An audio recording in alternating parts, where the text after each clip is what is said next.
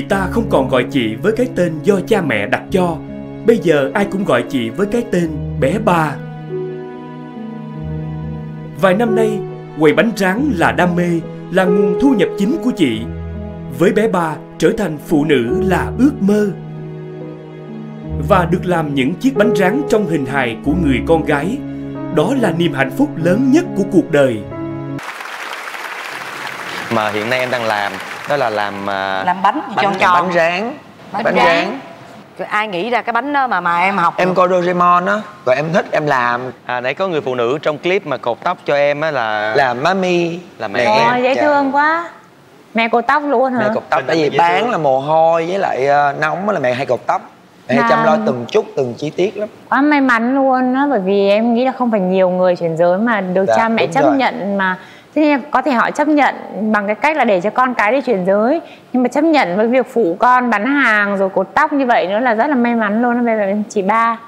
Nhưng mà giờ chị ba là chuyển giới được bao nhiêu lâu rồi ạ? Ờ, đi phẫu thuật từ ờ, 9, tháng 9 2015 tới bây giờ là cũng gần cái tháng 9 này là gần 3 năm rồi. Dạ. Ngày đó là tiền là bán bánh rán là chị tiền ba giúp ờ, ba vừa bánh rán và vừa của ba mẹ nữa. Tại vì Ba ba, mẹ mẹ, ủng hộ. Tại vì đến đến cái ngày mà ra sân bay là chính ba đưa từ ở nhà ra tới sân bay và ba đợi chừng nào mà vô cái cửa khẩu thì ba mới ờ, ba mới về. Thường thì anh thấy là những gia đình mà có người con muốn đi chuyển giới như vậy á Cái rào cản lớn nhất chính là gia đình là ba mẹ là những người thân. Nhưng mà ở nhà em thì lại ngược lại. Em đã như thế nào, em thuyết phục ra làm sao để ba mẹ là người ủng hộ cho em? Em không có thuyết phục. Em còn một người anh nữa. Người anh đó là Nguyễn Văn Nga cũng là người chuyển giới như em. Nhưng đến khi em thì em biết thì em lại giấu nhưng mà đến khi em em thích quá em mơ ước em thành con gái quá thì em làm mọi đủ mọi cách để em làm mà em giấu ba mẹ. Nhưng mà đến khi mà ba mẹ biết rồi á thì ba mẹ lại làm biến cái chuyện mà đánh đập đi dăng ne đi dạy dỗ cho em. Thì uh, ba mẹ kế tiếp thì ba mẹ lại ủng hộ em. Mua từng cái áo từng cái bộ đồ con gái để cho em mặc và từng cho tiền em cắt tóc. Có bao giờ giận ba, giận mẹ luôn không? không mẹ thương thì mẹ mới dạy ba thương ba mới đánh. Thương ba mẹ nhiều hơn nữa tại vì nhờ có ba mẹ của em ngày hôm nay. Chị hai của em bị đánh. Vậy thì khi có phải là do nhìn thấy hình ảnh là gia đình đánh chị hai cho nên khi mà giới tính của em em biết được giới tính của em em giấu luôn không? Em giấu chứ. Em giấu thì em sợ đánh đòn lắm. Mà mỗi lần cầm cái cầm cái roi là em sẽ khóc liền. Em giấu nhưng mà cái điều tới lúc nào thì em không giấu được nữa? Tới cặp chân mày tới cặp chân mày như là em muốn tỉa chân mày cho nó mỏng đi. Nhưng mà cái cái người làm chân mày cho em nó bị giống con gái quá nên là không có giấu được. Về thì mẹ nhìn thấy mẹ phát hiện nhưng còn ba có sách cà roi lên không? Ba thì ba đi làm chiều tối ba mới về. Thì ba giấu em ít tiếp xúc với ba lắm tại vì sợ ba thì ba ba gia trưởng lắm. Đến khi mà đi ra ngoài á đi ra ngoài thì em thích một bộ đồ đó. Em nhìn nó em để dành tiền em mua. Em mua thì em lại mặc giấu nhưng mà tình cờ mẹ lại biết và tình cờ ba lại thấy nên em rất là sợ. Nhưng đến khi mà ba nhìn hỏi tại sao mày làm như vậy? Mày không lấy anh mày làm gương. Mà mày còn như vậy nữa, điều đó tao không thích. Và gia đình, xã hội này không muốn. Ba nói như vậy nhưng mà miệng thì ba nói, khẩu thì ba nói nhưng mà nước mắt em lại rơi. Nhưng mà đến khi khóc thì ba thấy con lại đau rồi thì ba lại không muốn đánh nữa gì ba sợ út đau. Nên là ba không muốn đánh, ba chỉ nói là làm sao đừng để cho xã hội nói gia đình của ba là được. Và ba tin ở con. Ơi, cái bộ đồ mà em lần đầu tiên mua đó Em có thể tả được cái áo đó là nó như thế nào? À, áo thun bao lỗ sọc màu vàng hay màu xanh em không nhớ và quần quần sọt Lúc đó em mặc xong em cảm giác như thế nào? Cứ là thích. Tại vì mình giống như mình ai mà cho mình được cái cái cái cái gì mà mình muốn á nhưng mà mình không không có tả được cái cái cái cái điều đó mình cứ là thích. Mà đang thích được giống như là thích suốt cuộc đời luôn á. Và tự nhiên đang thích thì ba mẹ lại ba mẹ phát hiện ra có nghĩ là giống như là áp lực bao nhiêu sóng gió lên đền dồn dồn đến em nhưng mà em không em không nghĩ là ba mẹ sẽ chấp nhận em. Thì đó như em có được cái sự đồng ý của gia đình một cách dễ dàng hơn Dạ. Không phải chịu những cái sự đòn roi giống như chị em trước đây Thì phải nói là giống như chị em là một cái viên gạch lót đường Lót đường cho những em cái đi. bước chân đầu tiên để cho em bây giờ có thể thoải mái và thanh thang đi trên con đường mà em đã lựa chọn. Chúng ta sẽ mời chị hai ra đây để gặp gỡ và trò chuyện với mọi người nha. Xin mời chị hai của bé ba chị ôm bé hai cái nha. Đó cho khỏi rung nãy bé ba rung quá. Rồi ngồi đây.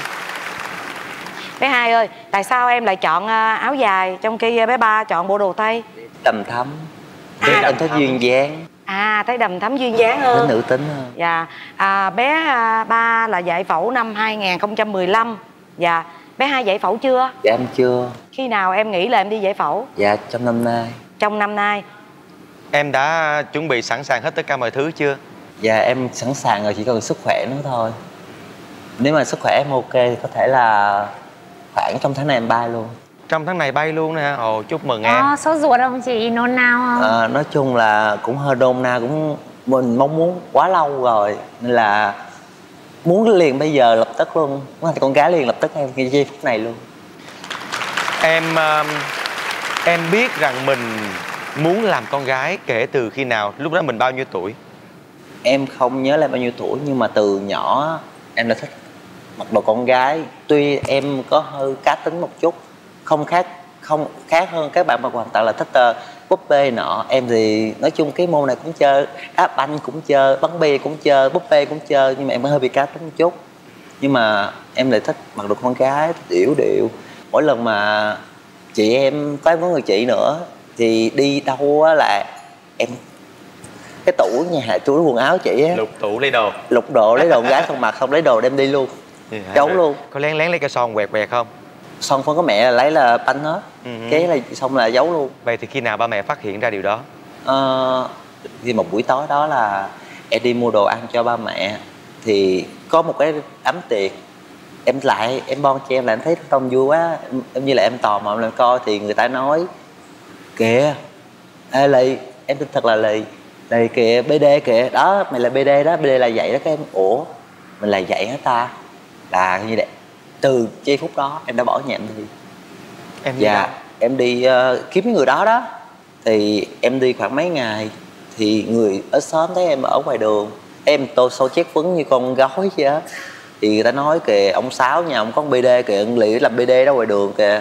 Thì ba em biết thì lúc đó thì à, ba cầm cây ba đánh từ ngoài đường ba đánh từ ngoài đường ba đánh về tới nhà. Cái năm đó là bao nhiêu tuổi à? năm hai lấy một hai lấy hai mười mấy tuổi. Á. từ đánh thì cứ càng đánh thì em càng lại càng đi. Hai tìm đủ mọi cách để hai đi chứ hai không muốn ở nhà gì ba không- hai không chịu đòn roi được. Vậy lúc Có đó bé ba là- có giúp gì cho chị không? nếu em nói nữa em sẽ bị ăn đòn tiếp nên em phải ngậm ngùi em im thôi. Nhưng mà lúc đó em đã biết cái giới tính em là khác chưa? Em biết rồi từ nhỏ là em, em có nói với chị hai không? Dạ không không dám nói luôn. Không Có thể bé ba không nói với em Nhưng mà em nhìn em của mình em cũng biết chứ đúng không? dạ em biết. Nhưng mà em có nói điều đó ra không? em không muốn và em không thích. Em không muốn là em mình sẽ giống mình. Vì em biết con đường em đã đi quá trong gai rồi thì không bao giờ em muốn em của mình là như vậy. Và em đã từng kêu bạn em đánh nó và đuổi nó về nó không cho nó đi. Hai tìm đủ mọi cách để ờ, không cho em làm người chuyển giới.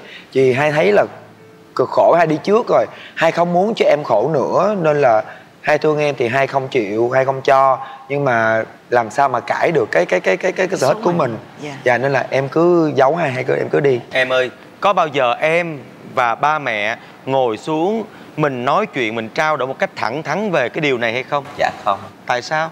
vì ờ, gia đình em là gia đình lao động từ nhỏ nên là chỉ có là lo cho miếng ăn, miếng uống, xong ba má phải đi buôn bán. Một ngày đi bán tới tối về. Tối về là chỉ em thì ở nhà còn nhỏ mà. Em ở nhà thì phụ gì phụ. Rồi khi bé em dậy thì lo về đánh. Đánh xong sách giờ ba má phải đi lo kiếm cơm ăn áo mỗi ngày. Thực sự mà nói thì với cha người cha người mẹ, họ cái thời điểm đó họ thậm chí họ còn không hình dung ra chuyển giới nó là cái gì nữa có nghĩa là với họ nó là một cái gì nó rất là mông lung. Người ta không thể hình dung được là có có cái phẫu thuật đó trên cuộc đời này nữa. Nên là nó rất là khó. Thì đến bao giờ ba mẹ mới gọi là tạm chấp nhận cái điều đó ở em? nói chung tạm thì chắc chắn là không. Vì giây phút này ba má em vẫn còn muốn khi em chỉ giải phẫu ba má còn muốn em thành con trai lại. Ngay cả bây giờ cái hình hài của em thế này ba mẹ vẫn muốn là con trai tại sao lại như thế đó. khi mà bé vì, ba đã vì không nếu mà tại vì bé ba nó đã giải phẫu rồi bây giờ ngăn cản thì không thể ngăn cản nhưng em biết trong lòng ba má em vẫn còn cái vọng muốn em thành con trai Ít nhất là ở nhà cũng phải có một thằng con trai. Vì đôi lúc thì nhìn em cứ giống ba tay với đẹp trai thì má kêu thì má kêu nói là làm con trai mà lấy vợ đi cắt tóc đi mà chưa giải phẫu mà cắt tóc vẫn còn kịp mà. Thì bây giờ vẫn chấp nhận nhưng lâu lâu buồn buồn thì nhìn xung quanh dòng họ hay ngoài đường. Thấy người ta có con trai, có cháu nội bồng. Ba má phải chạnh lòng chứ.